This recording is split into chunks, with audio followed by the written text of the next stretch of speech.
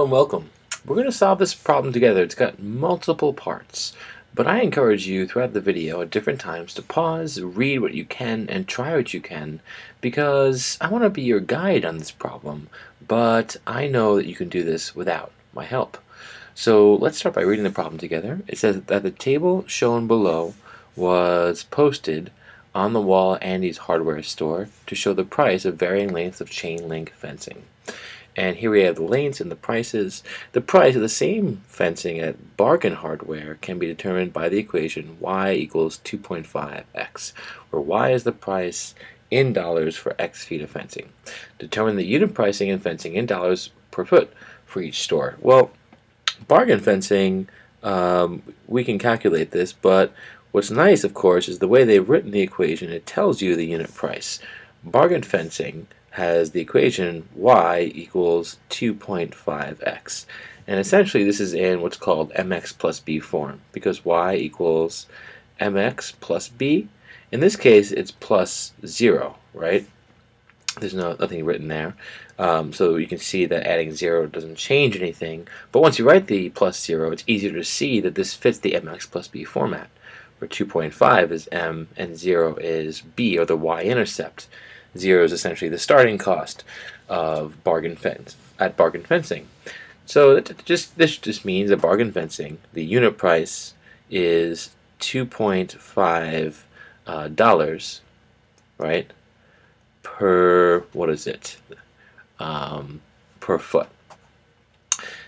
And if we're not sure on that, or if I haven't convinced you, what you can do is plug a couple of different values in for x to see what's going on. So for example, you could do y equals 2.5 times 1 foot, and then y equals 2.5 times 2 feet, and so on and so forth.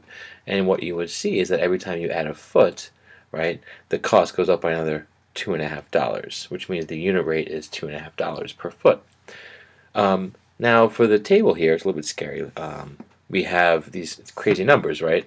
But let's see what happens when we compare the price to the amount of length. So a dollar six, $168.75 divided by 75, what we get is $2.25. This means that so far it seems as $2.25 per foot, right? That's my dollar sign.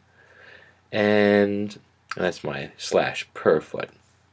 Let's try another one. 281.25. All those dollars divided by the amount of feet gives you another 225. So this means that this is also 225 per foot. And you can test them all. You'll find that's true for all of them. So this means that the unit rate uh, at Andy's hardware store, right, is dun, dun, dun, dun, 225 per foot. And you can write the equation y equals 2.25x. It's going to be helpful to us. Um, now let's go into part two, where we graph. And before we go any further, I'm just going to rewrite these things before I forget them. At Andy's, the equation was y equals 2.25x. And at bargain, what was it called? Bargain something. Bargain bargain fencing. All right, bargain fencing. Let's call it bargain. Too lazy to write the word fencing. It's y equals 2.5x. And they want on this graph below to show the relationship between the length and the cost. And they want us to label each line. so uh, I'm going to um, set this up by um, making a little table right over here. And so on this table, we're going to have three things. we're going to have x, which is the input, and then we'll have a column for Andy's, right, where y equals 2.25x. I'll put an a up here to remind myself.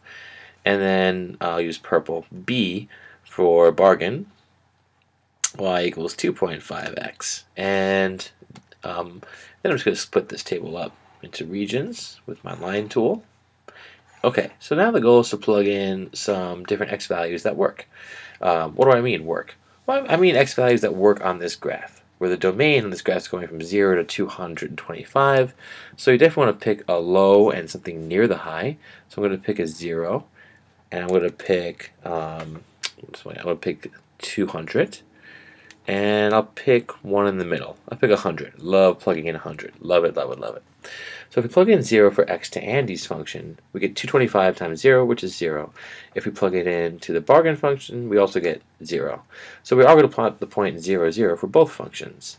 Then plugging in 100, that just moves our decimal to the right twice, we get 225 for Andy and 250 for bargain. So already, ironically, the bargain place is more expensive, right?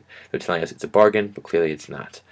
And then uh, if we plug in 200, we can essentially double what we have before, and we'll have 450 for Andy, right? And 500 for bargain. And just to check my math, of course, if we're not, you can bring out a calculator on this question. So it's a part two question. So 225 times 200. There it is, 450, and 2.5 times 200, 500. All right, so let's plot these things. So we'll start with Andy's. So use the color coding, right? We've got 0, 0. We've got 100 and then 225, which is about here, of course, halfway between 200 and 250. And then we get 200 and 450, right? These three points here. Take my line tool, and you would use your ruler here, draw the line, draw an arrow on it, and then write my equation right next to that line. That's all you have to do to label it. And we can label the points in a moment. I just want to see where um, we'll be plotting the bargain fencing. So bargain fencing also is at 0, 0, and then at 100, 250. So 100 and 250, you can see it's more expensive there. And then 200, 500, which is right at the top of the grid. Take our ruler or line tool, right, if you're using a computer here like me, and right? For the arrow there, and then label it y equals 2.5x. And here, right, uh, it's also a good measure if you have time to label your points so people know exactly what you know, right? So here, we're just going to clarify, hey, we know what we're doing, right? This is the point 204.50. This is the point 0, 0. And then for the bargain, I'm also going to label the points 0, 0. And this is 100 to 50 and this is 200, 450. I like to label, oops, 500. I like to label the points because it leaves no room for um, debate. I know what I'm doing. You can see it. It made it pretty. I've also labeled my points and my lines. So there's no reason to take anything from what I've done here. All right, thank you.